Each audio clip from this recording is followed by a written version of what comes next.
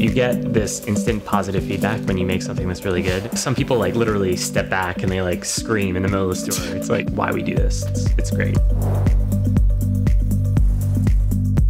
VIVIC is a direct trade sparkling coffee made with all real ingredients. We have three flavors. We have an original sarsaparilla, which is like a root beer, and then a lavender.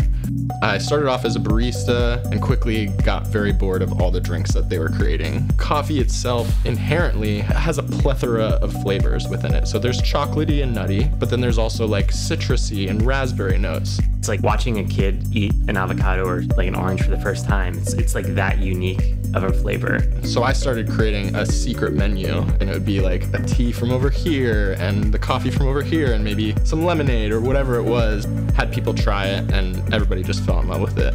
The name VIVIC stems from the word vivification, which means to bring life to. So it's our goal to bring life to the coffee industry by addressing the inequities within commodity coffee trading, and we do that by sourcing all of our coffee direct trade. We actually go to the farm, we meet with the farmers, we buy coffee directly from the farm.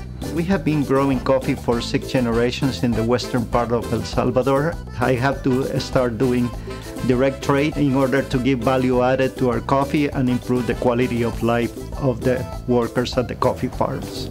So they own a coffee mill, and what that allows you to do is have ultimate control over how the coffee is processed. It kind of adds an element of craft to it. The cherry, when it's ripe, it can be deep red, or there's even some yellows. So yeah, I mean, it looks like a cherry. It's right there. Right here. so being able to like take a ripe cherry off the tree and taste it, in my coffee career, it was like a seminal moment. From the farm, it comes straight to San Jose. Guillermo roasts the coffee for us right here, but we rapidly cool it. We blend those teas with our coffee and then carbonate it in tank. It rolls off the production line into our boxes and goes to our distributor. Before we started VIVIC, I don't think either of us really had any idea of what it would be like to start a brand. We didn't know how to communicate our product to our consumer. We got some critical feedback. They're like, look, your product's amazing, your branding needs work. So that's when we went back to the drawing board and really made sparkling coffee pop on the can. In the end, it built something that's a lot stronger. Right now, we're in about 80 stores in the Bay Area, and we're trying to scale up from there. There's two ways of doing business. There's a way of doing business with the brain and then with the heart. We really want to do business with the heart.